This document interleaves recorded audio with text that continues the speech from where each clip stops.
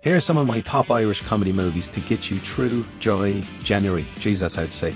And starting off the list, it's one of my favourites, Intermission. The best way to explain this is like an Irish Pulp Fiction. It's a dark comedy, crime, love story with some amazing performances from Colin Farrell and Cillian Murphy, includes some of the best one-liners. That's fucking delish, man. No list like this would be complete without mentioning Roddy Doyle and his movies The Commitments, The Van, and The Snapper.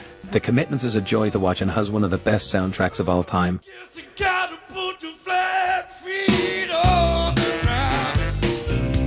And The Snapper is a family comedy, but I wouldn't watch it with my parents. That was A1. The Van is for the sports fans and those who want to relish in Italia 90 nostalgia. You want to get out of the way there, missus? You'll be fucking trampled on.